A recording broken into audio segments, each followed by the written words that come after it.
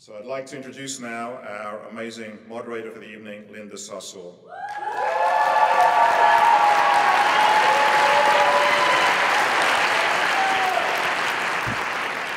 Uh, Linda, Linda was a co-founder of the Women's March, and she is executive director of Empower Change, the largest Muslim-led social and racial justice organization in the United States.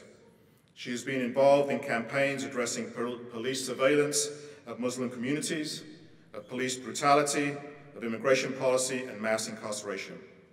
She was also, uh, has organized Black Lives Matter demonstrations, and as I'm sure some of you know, she was the lead plaintiff in a suit challenging the legality of the Trump travel ban.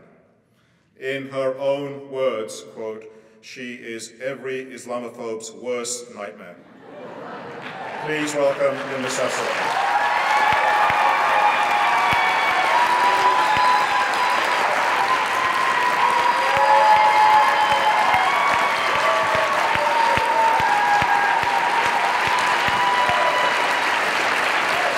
What up, UMass Amherst? So I was just here, as you know, a few months ago. And I thought I would never get invited back, but here I am.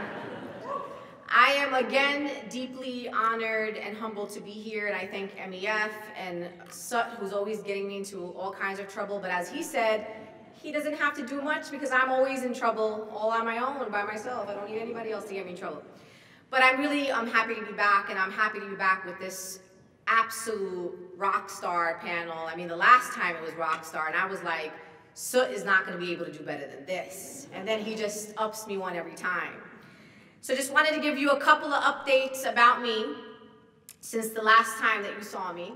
I'm still as unapologetically Palestinian American as I was when I was back here in May. I am still unapologetically Muslim American and always unapologetically from Brooklyn, New York. I mean, lots of things have happened in the last few months. Um, lots of great things have happened, and that's really important about the conversation that we're about to have because oftentimes we come to these events to share with everyone all the bad things and all the things that opposition is doing, and they are doing, and they're pretty powerful people. But I always realize that we're also really powerful too. And as much as our opposition tries to criminalize us and tries to vilify us and tries to knock us down, we just keep getting up. And every time we get up, we're taller than we were when we were knocked down the first time. And so for me, I am always deeply grateful for the communities that I'm a part of, the solidarity movements that I'm a part of, for the wonderful groups even here at UMass who have supported us, the wonderful and bold and courageous faculty, the groups like JVP Western Mass and the SJ, SJP chapter here on this campus and all their friends and colleagues.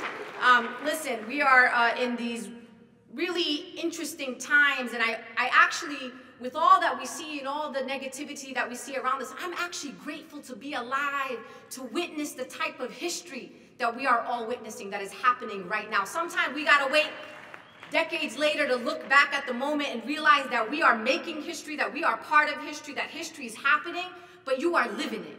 We are living it. I am living it. And I'm so proud to be alive and witness it with all of you. Since the last time you saw me, I've been named a 2020 Roddenberry Fellow.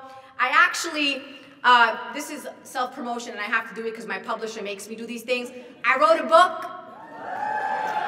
Yeah, they're not going to be really happy about the my book that's coming out. But anyway, I have a book that's coming out in March 2020. I would love for you to support me. It's one of the first times you see, you know, Palestinian American Muslim woman in hijab that's super spicy, that has been picked up by a major publisher. So my book is called We Are Not Here to Be Bystanders.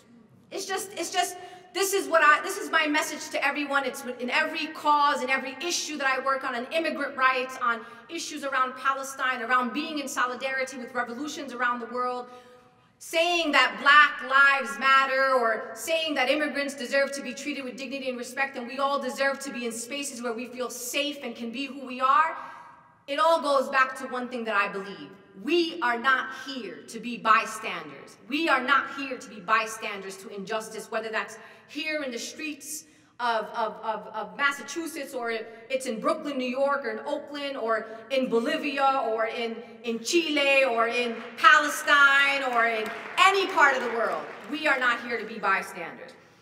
And just to share with you, you know, obviously, I'm, i guess MEF is nonpartisan. I don't even know, but I think they are. So I'm going to say that as a disclaimer before they get in trouble.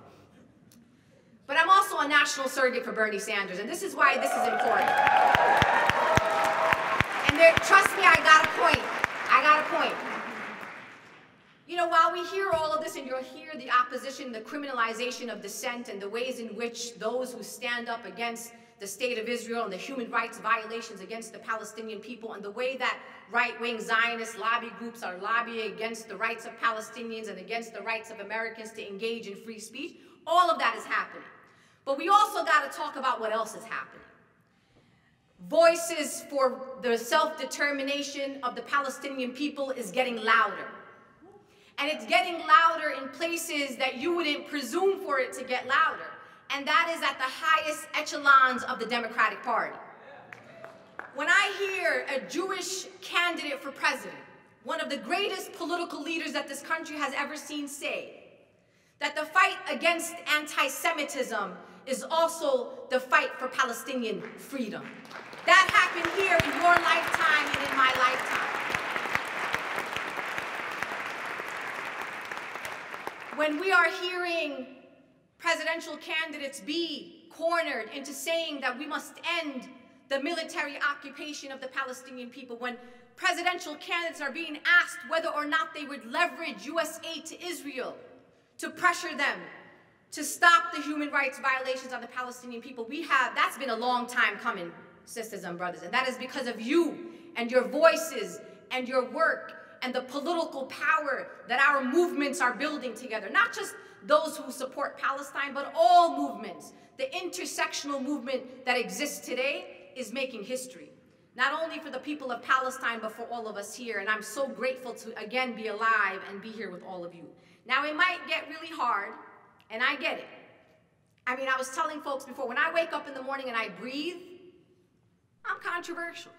I don't even have to say anything. My life is hard when I wake up, but it's worth it. Worth it. It's worth it, and I'm going to be who I am, and I hope that you too will stand in your convictions and your principles and know that it may be hard today, but one day you will look back and say, I was so proud to be on the right side of history.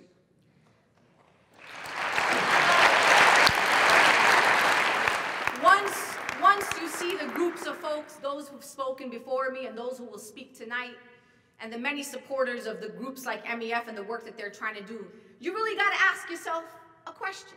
Whose, whose team do you want to be on? I want to be on the team with Dr. Cornel West. I want to be on the team with Sut Jhally. I want to be on the team with Shaun King. I want to be on the team with Marc Lamont Hill and Dave Zirin and Roger Waters and Angela Davis. Those, that's the team that I want to be on. And if you find yourself on the opposite side of that team, got a lot of questions to ask yourself. Just saying.